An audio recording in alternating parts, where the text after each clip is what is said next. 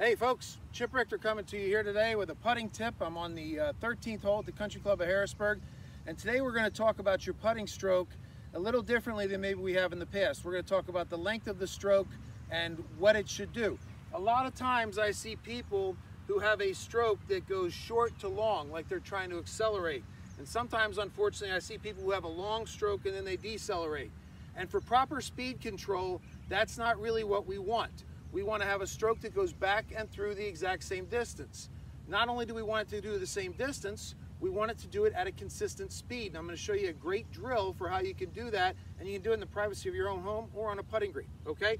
What I've got here is an aluminum yardstick, and I've taken duct tape, and I've got a white dot in the center, and if I'm going to practice my putting, if I go back to this other white mark, I want to go through to this white mark. Back to blue, through to blue. If I only go back to this yellow mark, I want to go through to this yellow mark. I want the putter to swing in a pendulum the same distance back and through. But it's not just that simple to stop right there. I also want it to do it on a certain timing, a certain pace, a certain tempo. Okay, so what is that noise you're hearing now? Well, that noise is my metronome on my phone. It's a free app, download it online and put it on your smartphone, and it's set to 78 beats per minute. Most of the PGA Tour has a stroke that averages 78 to 82 beats per a PGA and LPGA Tour, 78 to 82 beats per minute. Most of them fall into that category.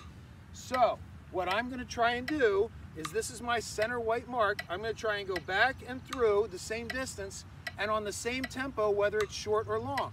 Yes, a short stroke takes the same amount of time as a long stroke, okay? So I'm going to try and be right over this white dot at every click of that metronome. Let's see if I can get it.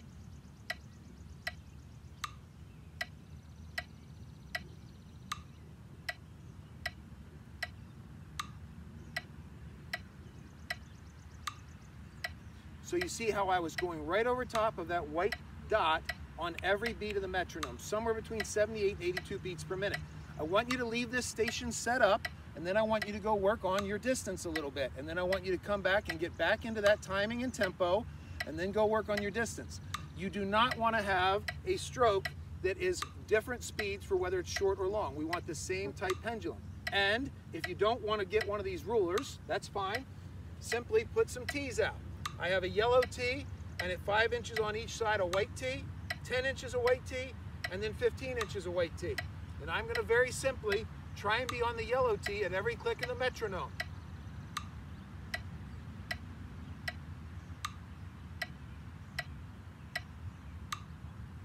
So, I had a student this week and he said to me, I was trying to speed his stroke up a little bit. It was long and slow. And he said, you're not telling me you want me to have a fast or a quick stroke. You're telling me you want me to be a little more purposeful. And I said, that's exactly what I want. Thank you, James. So purposeful, I want you to stroke it a little more purposeful. Most of you are not stroking it too quick. You're stroking it too slow. I want you to speed that up in most cases to 78 to 82. Try and be over that center dot at every single click and keep the station set up then go work on your distance putting, and then come back to the station. Let that feed into your practice routine, and you'll start controlling the distance of your putts way, way better. Hope you enjoyed this week's tip.